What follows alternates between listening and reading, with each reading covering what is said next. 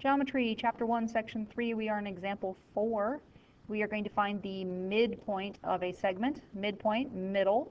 So for finding the middle of something, you are finding basically the average. Average is middle. So this is pretty easy. Formula, remember, what is the average? Well, add the two numbers and divide by 2. So your midpoint would be your x plus your x divide by 2 and your y plus your y divide by 2 and that would give you a point, and that point is your midpoint. So here's an x, here's an x. So I'm going to take my 8 plus my negative 14, and I'm going to divide it by 2.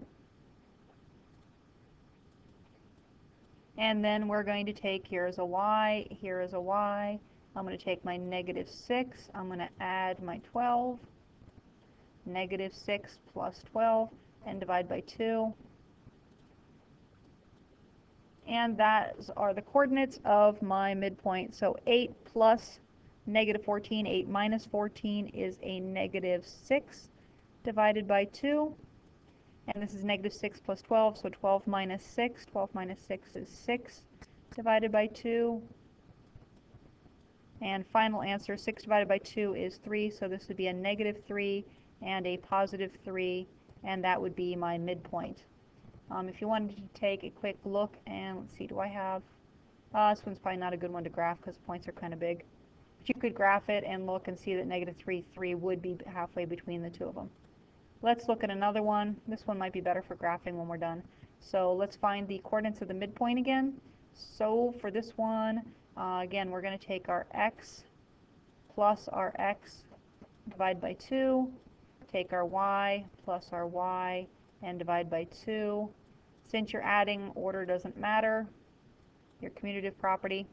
So this is my x, this is my x, so this is going to be negative 2 plus negative 8, and then I'm going to divide that by 2. And then this is my y, and this is my y, so that's a 3 plus a negative 9 and I'm going to divide that by 2. So combine my terms. So negative 2 plus 8, or plus a negative 8 would be a negative 10 divided by 2.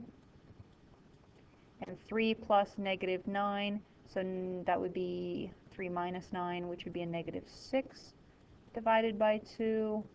Final answer would be negative 5 and negative 3. 5 divided by or 10 divided by 2 is 5. 6 divided by 2 is 3. Um, so I said I was going to graph this one, so you can see that was the answer they gave us from the book. Um, let's insert a picture, and I need a 10 by 10. There's my 10 by 10. Oops. Bring this down. Let this go away. So I want to graph the point negative 2, negative 3. So negative 2, positive 3 is here. And negative 8, 1, 2, 3, 4, 5, 6, 7, 8.